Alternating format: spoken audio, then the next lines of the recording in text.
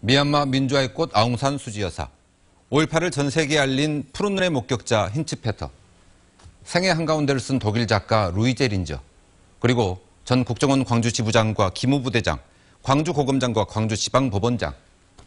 이분들에게는 한 가지 공통점이 있습니다. 혹시 짚히는 게 있으십니까? 이분들은 모두 광주 명예시민입니다. 도대체 어떤 기준으로 선정했길래 이런 결과가 나온 걸까요? 광주 MBC가 정보공개 청구를 통해서 입수한 자료를 분석했습니다. 먼저 김인정 기자가 분석 결과를 보도합니다. 광주시의 1호 명예시민은 미국의 헨리 대주교입니다. 까리따스 수녀회를 통해 저소득층 복지를 증진시킨 공로로 1966년에 명예 광주 시민이 됐습니다. 광주의 장애인들을 돌봐온 아일랜드 출신 천노엘 신부.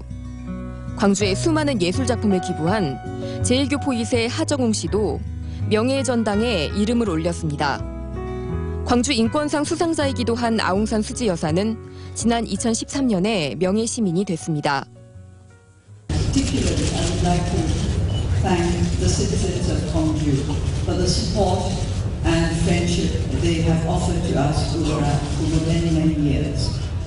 이분들처럼 명예 시민증을 받는데 손색이 없는 분들이 있는가 하면 왜 줬는지 의아해할 인물들이 적지 않습니다. 국정원 광주지부장이나 기무부대장, 광주를 거쳐간 검사장과 법원장들도 무더기로 명예 시민증을 받았습니다. 관선시장 시절에는 30년 동안 32명, 그러니까 1년에 1명꼴로 명예 시민증을 받은 반면 2008년에는 한 해에 무려 19명이 한꺼번에 명예 시민이 되는 등 2005년 이후 11년 동안 70명이 시민증을 받았습니다. 관선 때 단 3명에 그쳤던 내국인은 민선 때는 39명으로 늘었고 이 중 절반은 기관장이었습니다.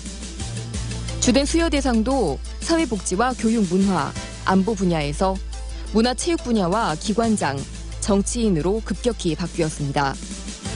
역대 시장 중에서는 박광태 전 시장이 8년 동안 36명에게, 강운태 전 시장은 4년 동안 26명, 관선대를 포함하면 29명에게 명예 시민증을 수여해 각각 1위와 2위를 기록했습니다.